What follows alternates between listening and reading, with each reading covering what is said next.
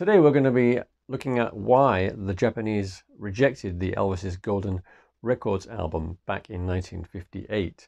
And later I'm going to be showing you some Japanese copies that I have. But before that, we're going to take a look at three original covers because I'm very fortunate in that I have three original copies from three different countries. And the first one that I'll show you is this American copy from March 1958. And this one is a Hollywood pressing, 10S, 10S matrix numbers for anyone who's interested in that kind of thing.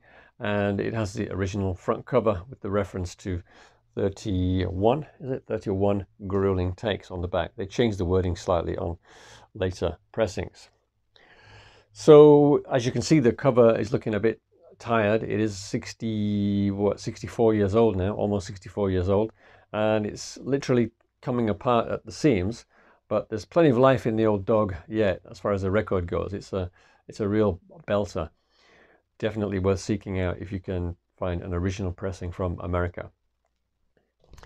And I also have this UK copy. This is one of the first UK copies with a maroon label. And just looking at the two covers before I started filming, I did notice that there were a couple of interesting differences in the two covers. So I'll see if I can show them to you.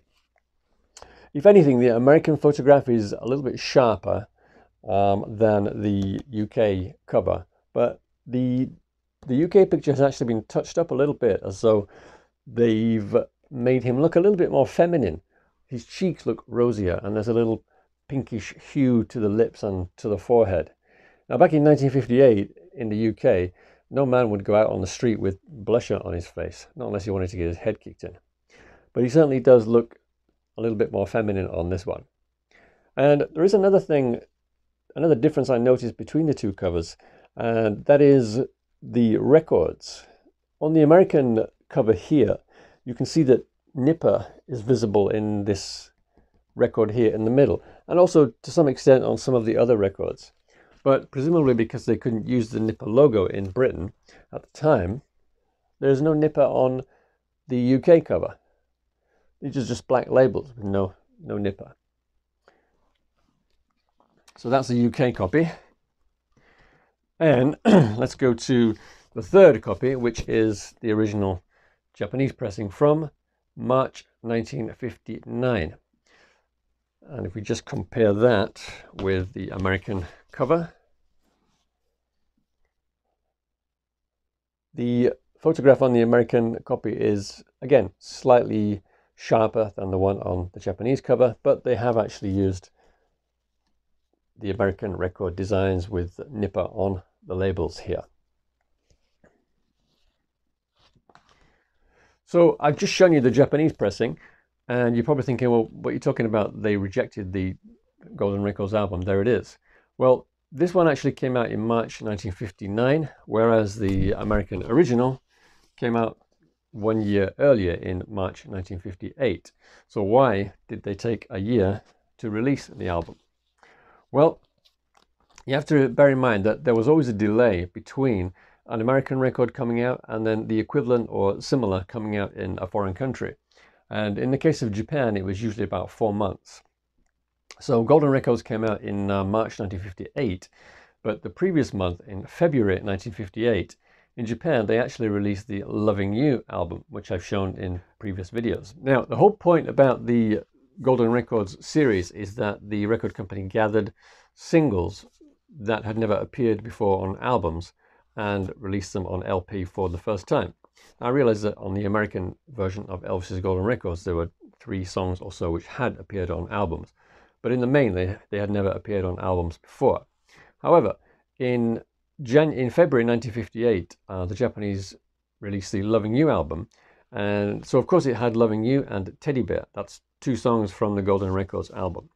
It also had Jailhouse Rock, That's When Your Heartaches Begin, and Treat Me Nice. So that's five songs on the Loving You album, which came out in February 1958, one month before the American Golden Records in March 1958. And not only that, let's have a look at some of the other songs on Golden Records. Love Me, of course, was on the second album. Love Me Tender, Hound Dog, Don't Be Cruel, and I Want You, I Need You, I Love You were all released on an album called Love Me Tender, a 10 inch LP.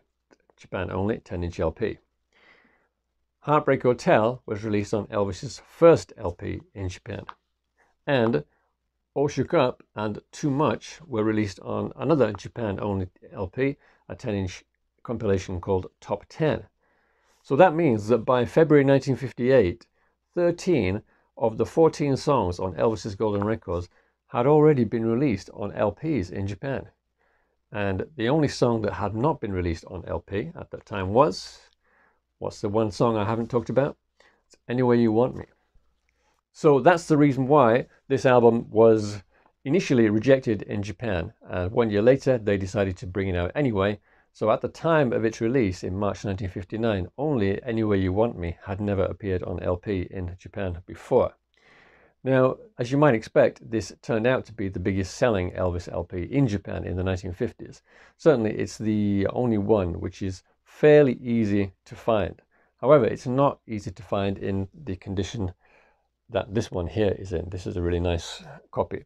There are also actually three cover variants. This one here, and you can see it says Victor and um, the catalog number, etc. And it's right in the top right corner here. There's another variant where this black text here is just above the blue word records. And then there's also a very, very rare pressing which does not have anything here. All the black text and the Nipper logo is, is missing. Just says Elvis's Golden Records with uh, nothing else on the front. Now, if you look for this album on Discogs, you will find it on there, but it states on there that this album is an export copy because it has all English text on the back. The only difference between this and the American LP cover is that this album here has the Japanese catalog number at the top left here. It also does have the American LPM 1707 catalog number here. And all the text, the English liner notes are exactly the same.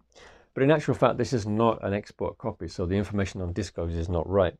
Uh, I know that for a couple of reasons. So firstly, export LPs had uh, a sheet pasted over the original Japanese cover, and the second reason is I have never seen a version of this album with Japanese text on the back cover, but I've seen lots of copies of this with the uh, English text on the back. So why would there be so many export copies still in Japan, but no copies with Japanese on the back? Well, the answer is because this is not an export copy. So that is the answer to a question you probably never asked. Why did the Japanese wait so long to release Elvis's Golden Records? Well, now you know. So just bear with me while I shift over to the other side of the room and show you the other Elvis Golden records that I have to show you from Japan.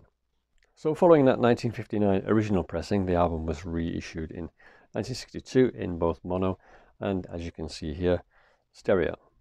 There's a back cover, it's still almost all in English. You have the song titles and the album title in Japanese. And there's the label, the familiar Victor label which was used until 1969. And this is a very rare copy from the late 60s, early 70s, 69 to 71, something like that. It's the first RCA pressing. So the cover is basically the same as the Victor one, except it has the RCA logo at the top. And the back cover is virtually identical. And there's the label. In 1972, it was reissued in this smart new cover, which is actually a gatefold. And there's the back cover. In fact, all four volumes of the series were reissued like this. And again, it was on the RCA label. And it was reissued several more times over the years until this version came out in 1992 in mono, the very last copy of Elvis's Golden Records in Japan. And if you're wondering whether the Japanese released anything instead of Elvis's Golden Records in the summer of 1958, then the answer is yes, but I'll talk about that in another video.